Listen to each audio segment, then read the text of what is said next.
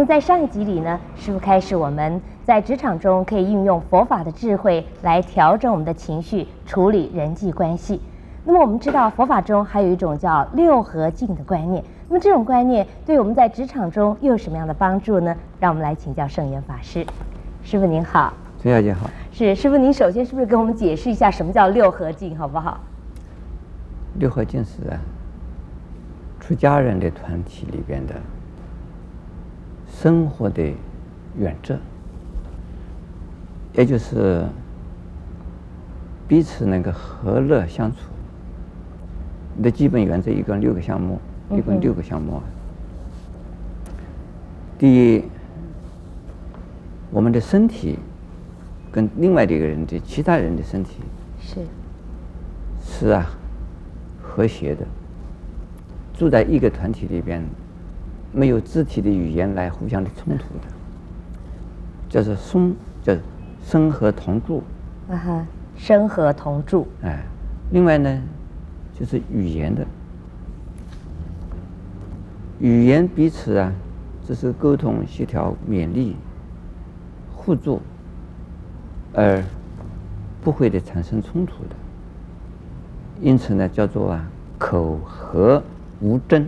啊，口和无争，哎，就彼此不是啊，有用语言、用口头互相的来叫战的，来刺激别人，刺激别人的。这个语言的战争也是很可怕。对，语言的暴力，语言的暴力带给人的这个，呃，这个我想创伤也是蛮重，相当大。一句话可能够伤人一辈子。第三呢？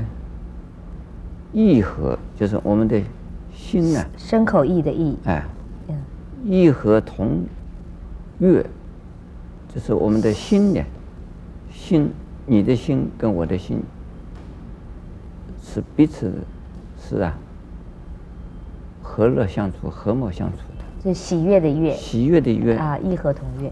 我们你看到的，你听到的，和我看到的，我听到的。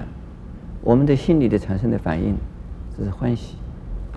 比如说，我们都在看这朵花，是你看的，你觉得欢喜；我看的，我也觉得欢喜。在任何一个人的心，都是保持着和谐的和喜悦的心。这是第三。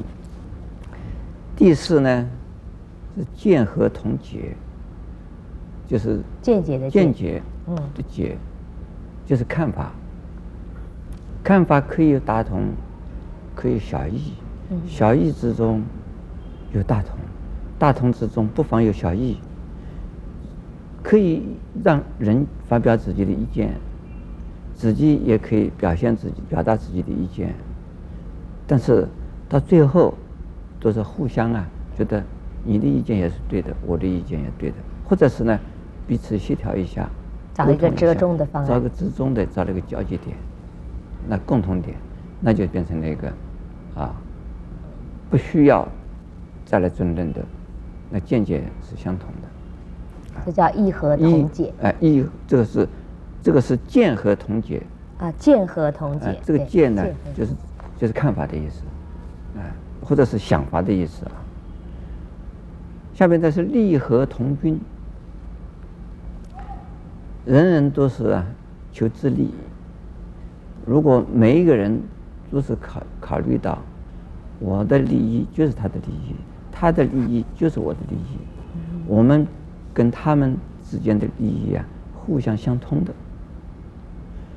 互相相同的。我对他有利，其实就等于对我有利。当我有利的时候啊，一定对他是有利的。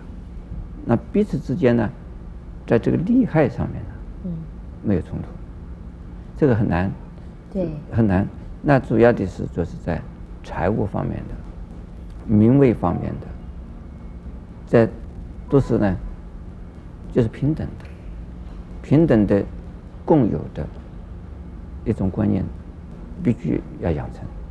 然后呢，这第六个呢，是啊，呃，戒和同尊。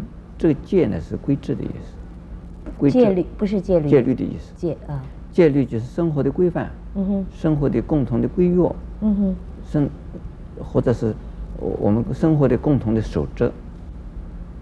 那既然我们是生活在同一个团体里边，我们要遵守共同的生活规范，在同一个规范里头生活啊，彼此之间是互相互相啊是和谐的。嗯哼，这一点呢，对于我们呃现在的一般的人来讲，呃，应该也是个常识，因为我们现在的人至少都会属于某一个团体。嗯，所以一个家庭也是一个小团体啊。如果是一个团体，呃，同学会也是个团体啊。学校那学这个同学也是团体啊。所所以这个工作的场所，你的这个店员是共同在这一个店里面工作也是团体啊。所以任何一个几两个人以上、三个人以上的生共同生活的一个体，这个就叫是团体。那应该共同有生活的规范，那么这个就是共同要遵守。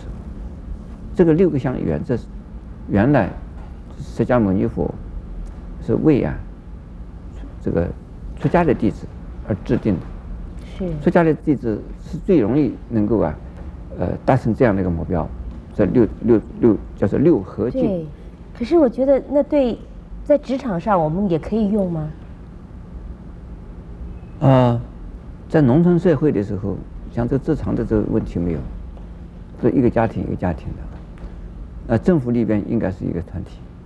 那么我们现在呢讲啊，呃，我们这个社团，实际上都可以用这样子的一个一个原则，来用这个六合的六合合的一种原则啊，来生活在我们共同的生活体系里边的。呃，我想这个是呃基本原则是相通的。那你详细的说，那你有你的原则，他有他的原则。你有你的规范，他有他的规范，呃，规范不同，这个原则应该相同。是，也就是说，如果我们能够把这个六合敬的观念啊推广到一个团体里面，或者推广到你的职场里面，可能大家的相处就会和谐的多。是这样子，如果要讲的话，比较详细一点，可能可以一条一条的解释。是，哎，是我我我们可以从这个大法鼓里边呢，六合敬可以讲六次。好，嗯，还可以讲。好，非常谢谢师傅的开示。那么也欢迎您在下一集里面继续再跟我们一起分享佛法的智慧。Thank you.